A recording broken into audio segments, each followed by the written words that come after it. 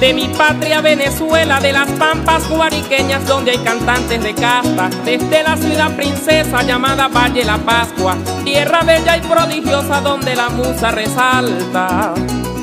Salió y se viene extendiendo el valor de un campesino con mucha perseverancia, con estilo original porque es de suma importancia y sosteniendo aquel dicho que el que se apura se cansa. Yo soy Alejandro Seijas, llanero 100% de sombrero y alpargatas, autor de muchas canciones que enorgullecen mi estampa, portador de la hermandad del que igualmente me trata.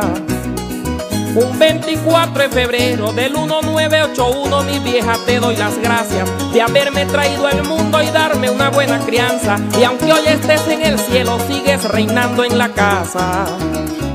Mi lema es de resaltar a la música llanera que tenga más relevancia. No hay esfuerzo fracasado cuando se tiene constancia. Si hay unión mucho mejor para obtener más ganancias. Gracias a Dios que me dio el cargo de cantautor con inspiraciones gratas. Una llanura preciosa donde el llanero enlaza, donde el guarico y apure con sus palmares se abraza.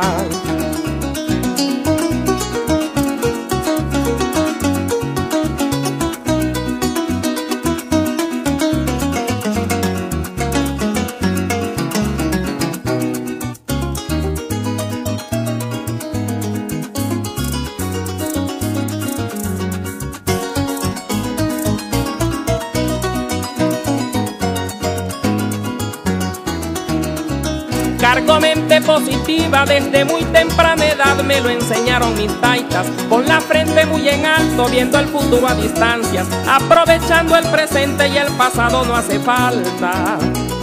Repleto de sentimiento, con un corazón inmenso como el cajón del Arauca, tomando en cuenta el respeto, el amor y concordancia de un público que se amolda de aceptación a mi canta.